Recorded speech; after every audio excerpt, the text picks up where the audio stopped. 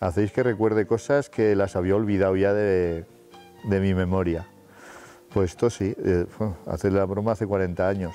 Yo creo que tenía unos 14 años y le fui a ayudar una noche a mi padre a, a empacar. Él estaba empacando y eran pacas pequeñas y había que apartar la primera línea, había que apartarlas un poco. Y estuvimos toda la noche, pero la máquina iba mal y no hicimos nada, sufrir toda la noche.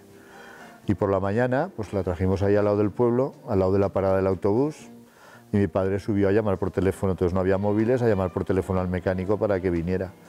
Y yo me quedé limpiándola un poco, ¿no? Para que él viera. Yo no me di cuenta, que era casi de noches, que, que había, eso, había un par de personas esperando el autobús, yo no me di cuenta. Y bueno, pues eso. Yo, la conversación fue, pues yo, me, parece que juré bastante ahí limpiando la máquina y después de una noche sin dormir, sin haber hecho nada, ¿no?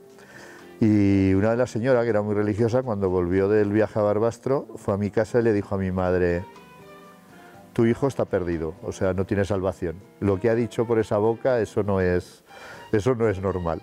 Y dice, pero vamos, no te preocupes, que yo rezaré toda la vida por él para ver si, si lo salvamos. Vaya chasco que me pegué cuando me lo dijeron, que, que había gente escuchando todo lo que, todo lo que dije. Pero vamos, con los trastes y sobre todo con la empacadora hay veces que, que pierdes los nervios. Bueno, y esa es la, la anécdota.